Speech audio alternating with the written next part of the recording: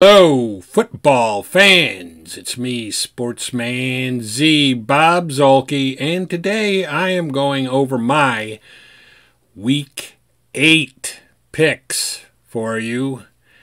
We will talk about that. We will talk a little bit about what happened last week. As you probably know, and as has been a particularly um, nagging problem in this particular NFL season.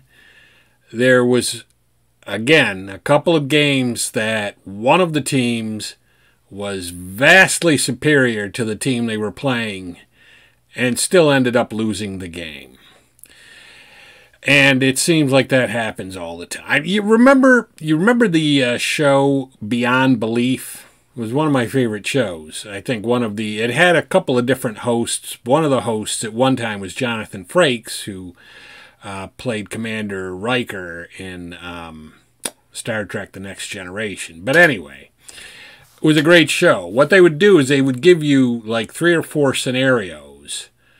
You know, something that some description, like a short story of something that happened, and uh, any number of them could be fake, made up, and any number of them could be real.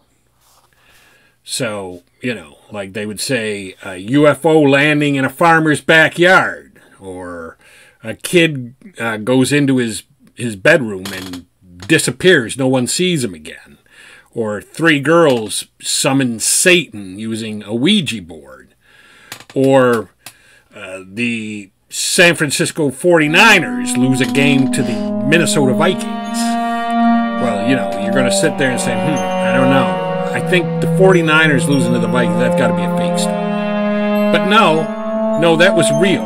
That was one of the real ones. And uh, they could probably have thrown in the, uh, the Buffalo Bills losing to a very bad New England So last week, I'm just going to get right to the point here. Last week, week seven, I was six and seven. Six right, seven wrong.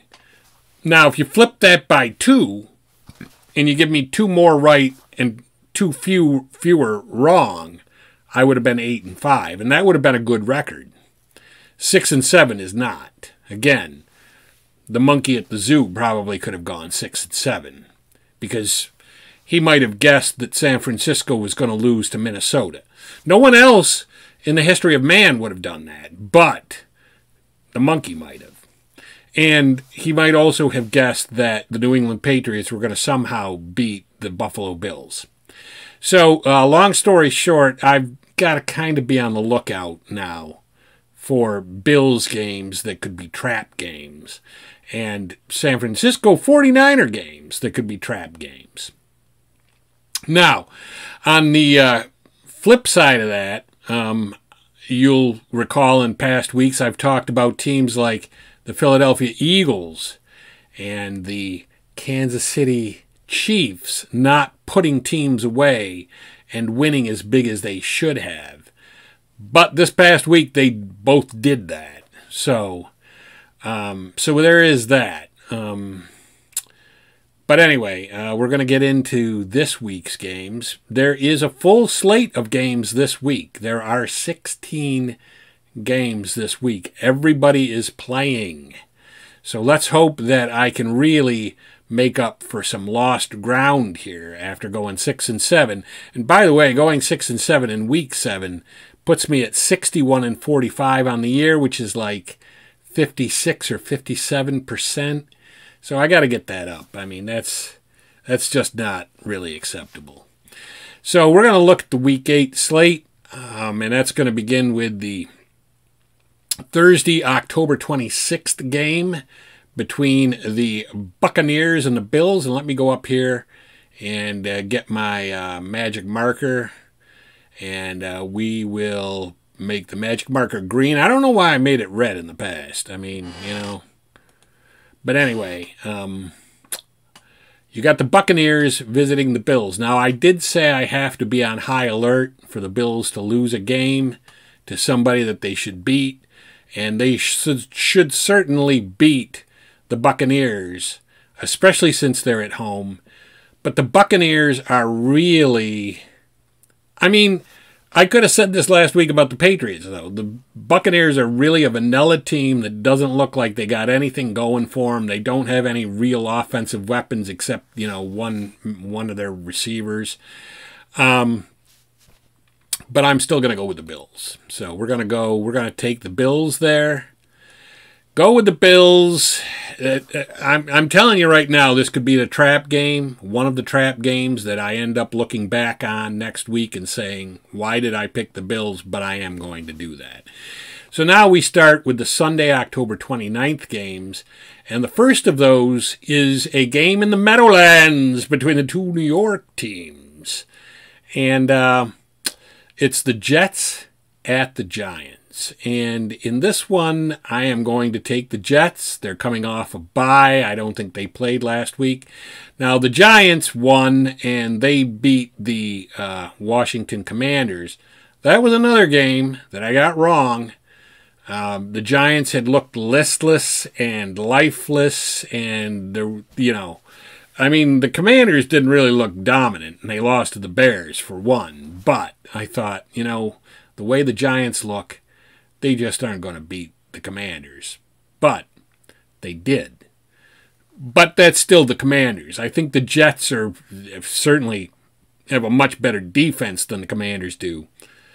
And and you know Zach uh, Zach Wilson, he had another week. He had a week off to you know work with the uh, first string offense, and I think he's starting to put everything together. I think he's starting to figure it out what he's got to do as an NFL quarterback. And they're, the Jets are just really a more talented team than the Giants, so we're going to go with that. Um, next one you got is the Steelers are hosting the Jaguars. Now, I keep picking against the Steelers because that offense is terrible.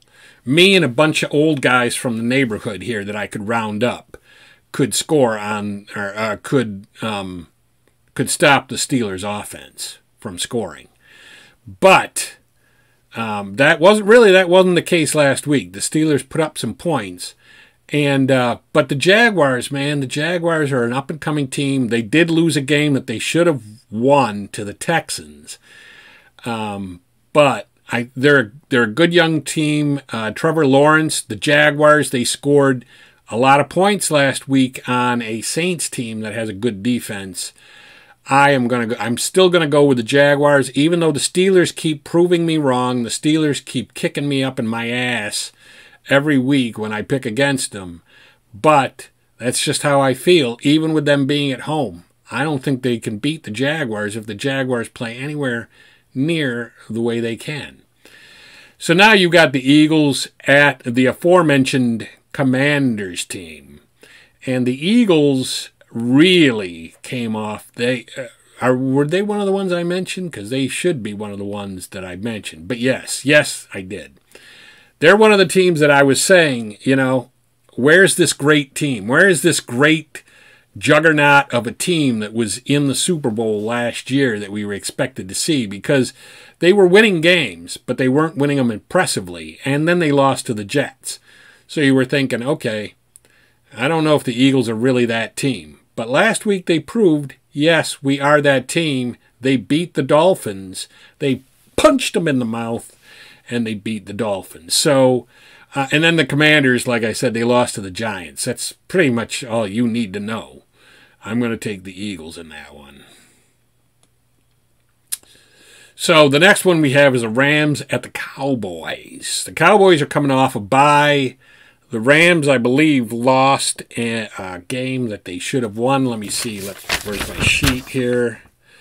I had the yes, I had the Rams beating the Ste- the aforementioned Steelers, which they should have done because, but they couldn't. They couldn't shut down that Steelers offense, and that's saying a lot because, like I told you, a bunch of guys, you know, my age from the Gaithersburg area could shut down the Steelers offense.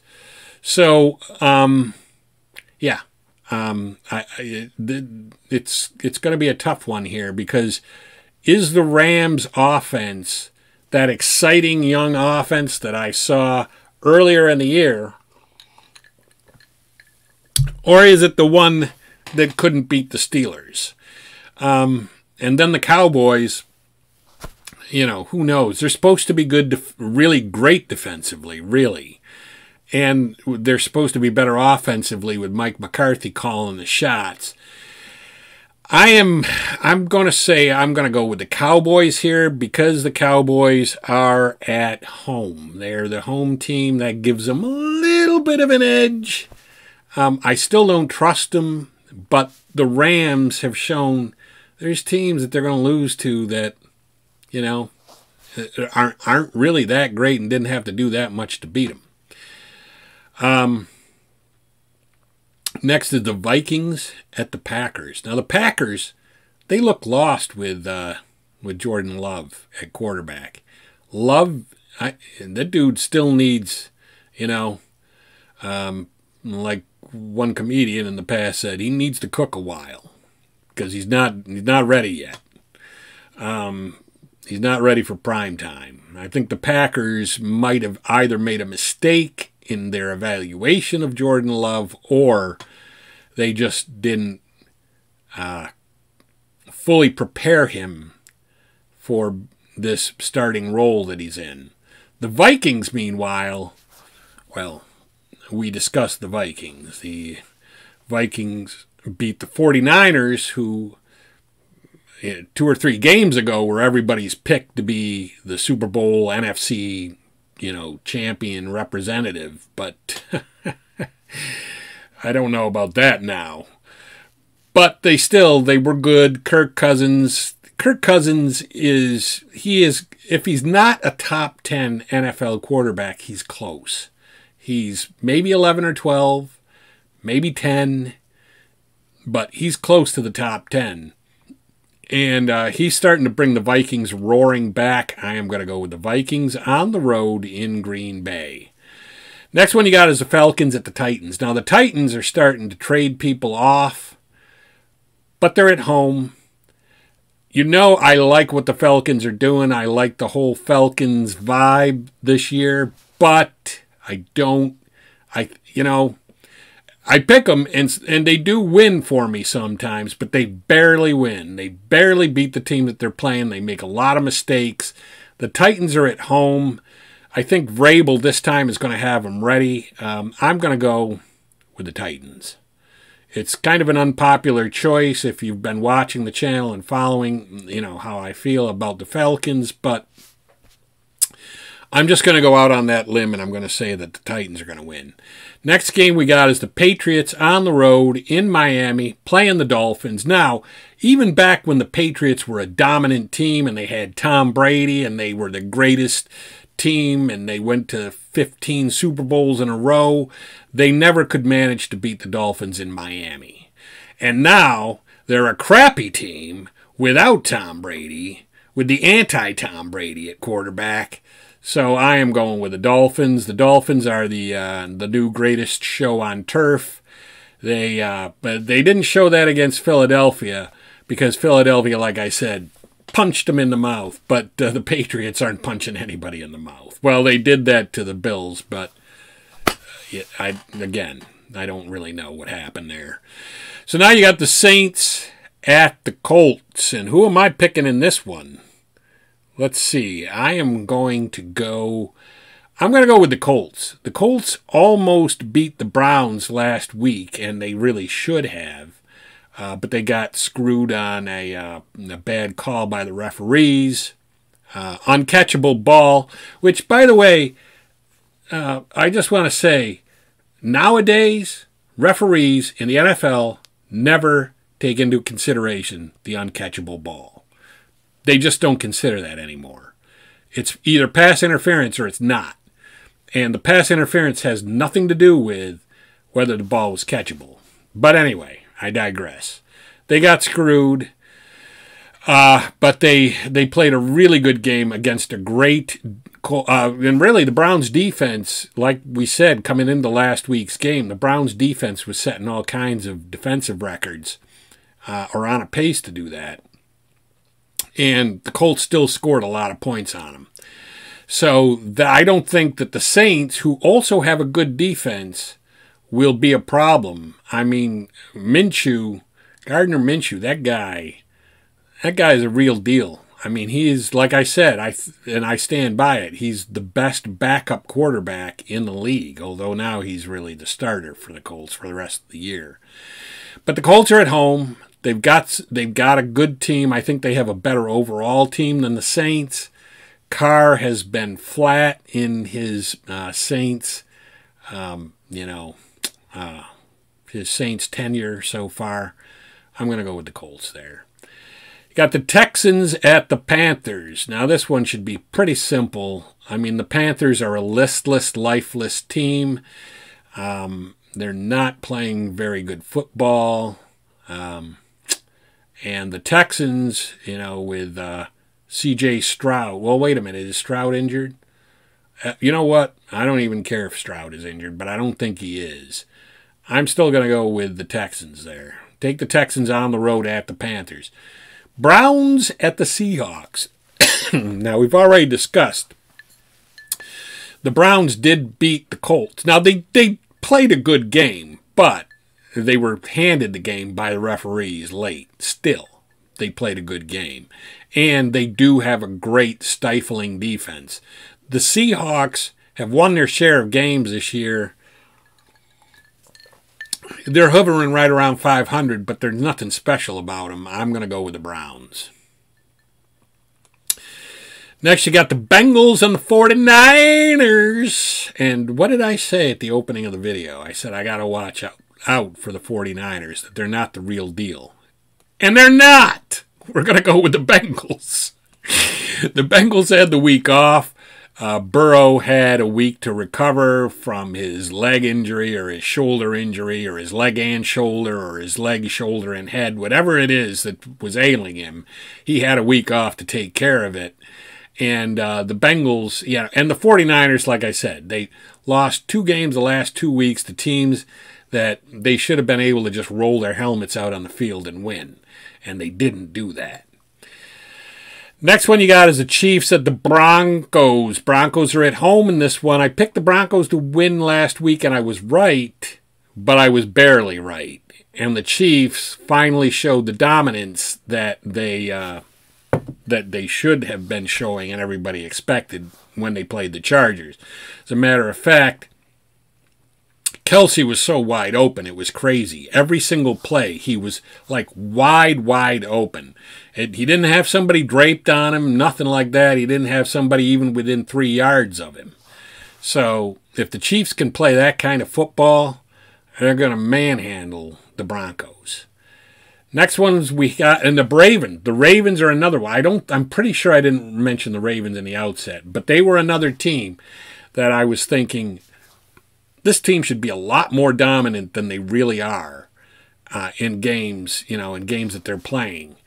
And we were waiting for the dominant Ravens, and we definitely got the dominant Ravens last week. The Lions actually got the the uh, the butt end of the uh, dominant Ravens when they they absolutely smoked Detroit. So, um, and then they're playing a Cardinals team that not a very good team. I mean, you know, I went through again. I went through all that description of the Ravens when really they're playing the Cardinals, and that's about all you really need to know. Next we have is my Bears. My Bears are going on the road to play the Chargers. Um, hey, Bagent, he was looking great. He's looking good, and I do expect Bagent will play again. Um, but um, last week they were playing a downtrodden Raiders team. And down by downtrodden, I mean terrible. So uh, we're um, here. I'm going to, you know, I, I, I, like how the Bears have been playing lately. You know, it took them five games to figure out that there was a football season going on. But, um, and Bagent, hey, you know, Bagent could be our Brock Purdy. Who knows? But I, I got to believe that the Chargers at home are going to beat them. You know, they they looked bad against Kansas City. They were leaving Kelce wide open, but we don't have a Kelce, and we don't have a Mahomes, and we don't have an offensive line like Kansas City has. Anything that Kansas City had that they could use to beat the Chargers, the Bears don't have. So that brings us to Monday now, and that is, by the way, it's going to be the Sunday night game, so that's going to be interesting. I might have to check that out and stay up late, even though it's a work night. And then uh, you've got Monday, October 30th, the day before Halloween. And you've got the Raiders playing the Lions. And uh, did I just say that the Raiders are a bad team? Yeah, I did. So we're going to go with the Lions, even though they got absolutely had their asses handed to them by the Ravens. The Raiders are like on the opposite end of the scale of the Ravens. So those are my picks. I'll, you know, kind of scroll back down through them, give you another look at them. But uh, that's it. Uh, leave a comment below. Let me know what teams you or what games you disagree with me on, what teams you think are um, having a good season this year, uh, what you think of my crappy picks last week, whatever you want to write, because anything helps. Any kind of comment in there helps. So, uh, that having been said, that's going to be it for me. Sportsman Z, Bob Zuhlke, signing off.